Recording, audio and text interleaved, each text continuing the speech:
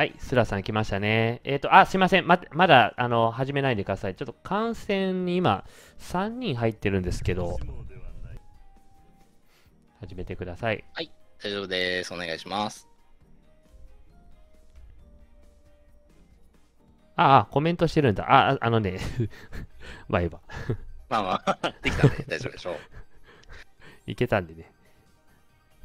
ザックン選手は、私、恥ずかしながら初めてお聞きする名前なのですが、うんうん、ドラーの方ですかね。一応ね、あのー決勝トーナメント常連の荒木選手をね、撃破した強豪テトラーです。相当ですね。はい。ザックン選手対サラ選手、これも一種での戦いとなります。第3試合見ていきましょう。まあ、やはり左側からかなり高めに組んでいくスラサン選手に対して、アックン選手は、えー平積み寄りの、えー火力が出る形をどんどん振っていきます。さあスラサン選手側は対応に回りながら、連結を保持していくという、リソースを稼いでいくという戦い方に持っていくことでしょう。さあ、一旦これは、えー、発火点が埋まるかと思いきや、この一段が空いたために4連鎖でなんとか事なきを得る状況。アスラさん選手は、ちょっとこれは受けが苦しい状況にも見えますが、まだ高さはあるので逆転は可能か。さあ、なんとかここで2連鎖に成功。さあ、ここからですね、問題は。ここから、さあ、アックン選手の火力がちょっと遠そうな状態から、なんとか復帰に成功しました。この状況ならばなんとかなるでしょう。さあ、しかし、1段を食らうタイミングが少し早かったので、怖い展開ではありましたが、これは間に合うのか？さあ、ネクストを見て、赤でのターン、2連、3連ですね。3連を選択しました。このレベルになると、ネクストネクネクを見る速度もね、かなり重要になってきます。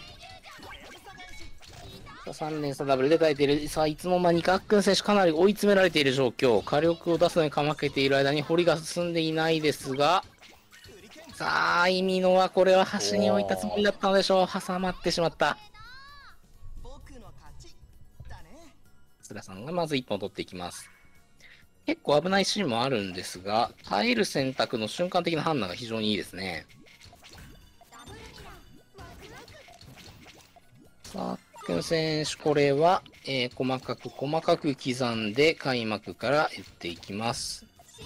さあ、少し火力に不安があるか、ここまでぷよぷよに積ませてしまうと、一発で試合が決まる量まであり得るぞ。いや、これスラさんでかいですね。さあ、大きいですね。これはスラさんかなり飽和したと言ってもいいでしょう。うーん、9連鎖まであるならば、イワプヨが出る。これは死亡宣告だ。うまい。さあ、対テトリスに対してのイワプヨはさすがにかなり苦しい状況になります。0対2。さあ、クン選手、ここは焦らずに動きたいですね。しっかり自分の得意な形でどんどん火力を出して、相手をまずは威圧していきたい。おっと、相見のミス、これは痛い。さあ、しかしこの程度であれば単発で十分修復可能です。その間に組んでいたスラさん選手、これはお邪魔を利用しての連鎖になるか。しかし、これは5連鎖止まりですね。わ、ただ、そうですね、アックン選手かなり焦ってしまいましたね、これは。また大きい連鎖が来るのではないかと疑っていた部分もあったのでしょうか。0対3です。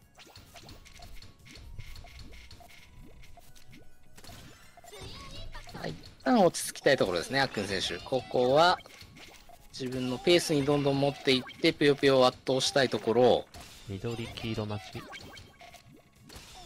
さあ、少し構えが遅れてしまったサラさん選手、これはそのまま埋められてしまう可能性があるぞ。右側でギリギリ耐えようとしていますが、ああ、耐えて紫で2連ですね。そして緑の受けがまだ残っているので、これも受けてから発火することでしょう。さあ、そして緑をしっかり3連結で残した状態で掘り進めていきます。ここまで来れば、そうそう奪われることはないでしょう。さあ、これは下から2連鎖ダブルの3連鎖ダブルを選択しました。ちょっとぷよぷよを大胆に使っていきましたが、まあ、この状態であれば問題ないでしょう。さあ、その間にもあっくん選手はどんどん攻撃を進めていきます。さあ、しかし、あまり時間はかけたくないところ。できれば、こう、ぷよぷよ側の攻撃はほぼほぼ受けた状態からカウンターで仕留めていきたい。さあ、こうですね。ここでギリギリ受けてからのカウンターが、テトリスはかなり強い。さあ、しかし、スラさん選手、それを見越してかなり高く構えているため、もう、相当なことではダメージを食らわない形ですね。特にタイテとの、えー、プヨンに関しては2列目、5列目、非常にこう連結多くこう構えておくとお邪魔も消しやすいので、こう構耐久としては非常に最強の構えですね。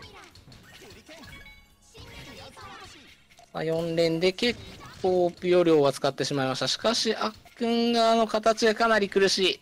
さあ、それを見てか否か、とどめを刺しに行く判断をするかと思いきや、これは苦しいか。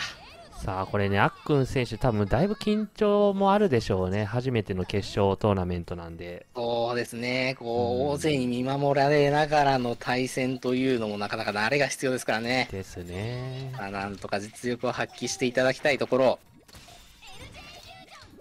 さあ、平常心で進めてまいりましょう。スラさん選手は、これはいいですね。こう青での受けもありつつ、赤からのルートも残している。さあ、こうですね、2連鎖ダブルから入っていく。やはり複数選択肢がある形が強いですね。さあ、これも受けてから1ダブ2連鎖。しかし少し食らいすぎないような気もします。お邪魔が非常に多い状態なので、ここから掘り返すには少しつもが噛み合う必要がある。さあ、なんとか3連鎖には攻撃つけることに成功。この後ですね。この後は怖い。そして、お邪魔ピヨで段差が分断されてしまった。これはかなり怖いぞ。しかし、ギリギリ耐えて3連鎖。だが、下に掘り進むには結構な時間を要しそうだ。こうなってくると、あっくん選手側、これあ、はとどめを刺すスタンスなのですが、少し手間取っているようにも見える。焦りが見える。もう一手、もう少しで倒せそうという気持ちこそが焦りの原因。いやさあ、そんな間にスラさん選手、掘りがうまい。いや、これさっきのスラさんの2ダブめちゃめちゃうまい。うまいですね。短くまとめて対応したり攻撃するのはうまいですね。ですね。やっぱり一概に大連鎖を打てばいいゲームじゃないんですよね、一種戦って。はい。短く自分のコスパのいい連鎖をバンバンこう相手に合わせてうん。使用していくっていうのが必要になるので、うんやっぱり状況判断力がね、問われますね。さあ、今回は左で構えていた4連鎖から放っていく。さあ、あっくん選手が、もうこれは4連鎖は総裁に当てましたね。総裁に当ててしまうと一瞬火力がなくなってしまうので、その間、ぷよぷよが積み放題になります。さあ、案の定、スラさん選手はかなり色ぴよが多い状況になっていますが、さあ、これをなんとかしたいヤックン選手。この状況をひっくり返すには、かなりの火力が必要。スラさん選手、おこれは、3ダブ4連、そして5連差目が隠れている。しっかりしっかり出していますね。そして、アックン選手、結構操作に当てています。操作に当てていくとなると、やはりぷよぷよ側が少しずつ有利になっていくように思います。できる限り受けられる攻撃は受けるのがセオリーとなっていますが、さあ、ここで、だいぶそうですね、アックン選手側も地形が良くなってきたので、かなり攻めに転じられそうな展開です。さあ、それを知ってか知らずか、スラさん選手も当然これは受ける構えですね。かなり繋いでいます、スラさん選手。そして伸ばして伸ばして下の黄色まで入れてハッカー。さあ、クン選手、これは少し隙があったか。6連まで打たれてしまうと、これは致命傷だ。強すぎる。ぷよぷよでここまでやれるのか。なんと、ストレートでのマッチポイント。くん選手落ち着いて、火力をどんどん出して、一気に取り返していきたい。さあ、平積みでテトリス、そして、わあ、うまい、この緑。まあ、緑が、そうですね、横一列で繋がる形を保持しているので、スラさんの技術力が光っていく、6連鎖ダブルをいきなり放っていった。さあ、しかし、ヤクン選手もかなり平たい状況からでしたので、全然耐えられる量ではあります。さあ、そういった状況から、お互いにどのような判断を下すのか、ここはダブルダガーだ。さあ、くん選手一気に火力を出していく。さあ削って、そして、いいですね、TSD から TSD のテトリス。どんどん出せている状況。さあ、少し操作に当ててしまいましたが、それでもなお火力が残る状況。それぐらいの効率は出ています。さあ、そうなると、スラさんが徐々に辛くなっていく。ぷよぷよの量がどんどん消費されていき、お邪魔でフィールドが全て埋め尽くされていく。これはさすがにどうしようもない。なんとか一本取り返していた。このまま流れに乗りたいところ。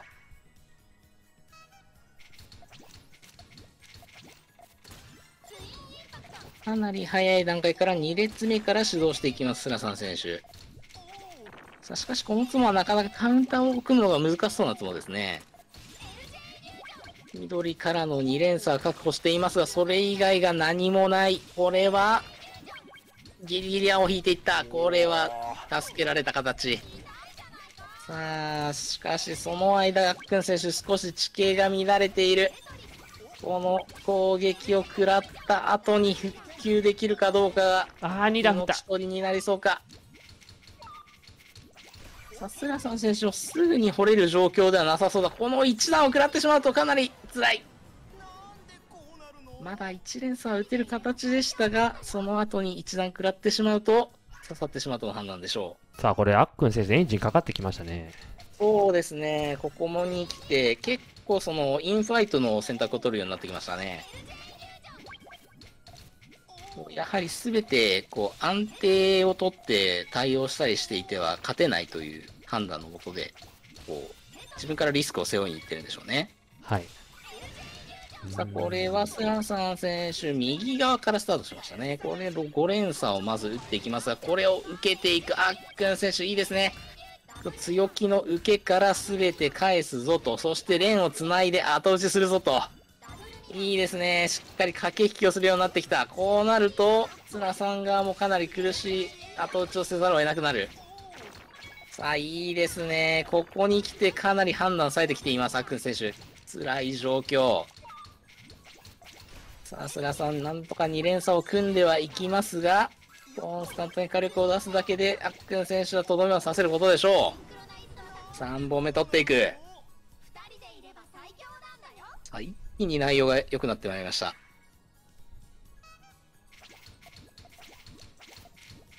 まあ、あっくん選手もね、普段プヨラと戦うこともないと思うんでね、相手との戦い方っていうのを分かってきたんですかね。こうなんか戦いながら、こう成長してる感じしますね。ですね。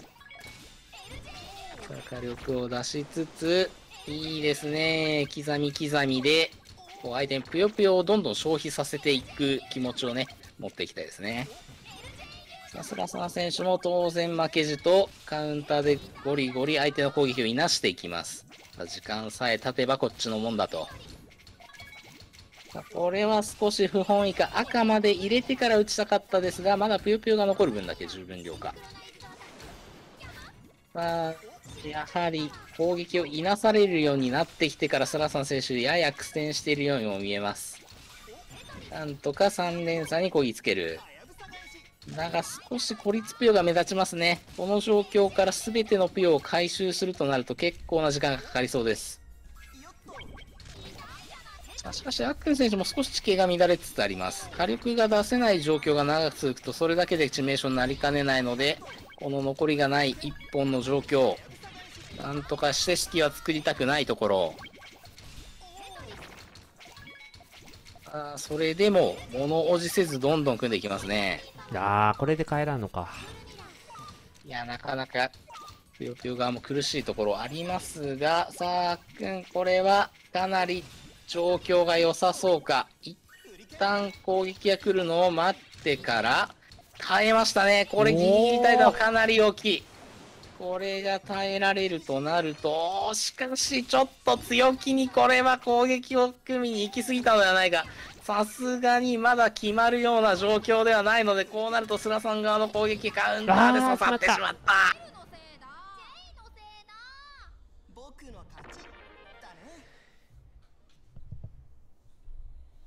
いやー、スラさん強えー。強いですね。ここまでとは。途中であっくん選手がエンジンかかってきたんですけども、無理だったか。抑えつけましたね。はい。というわけで、3対7で、スラさんの勝利です。おめでとうございます。ありがとうございます。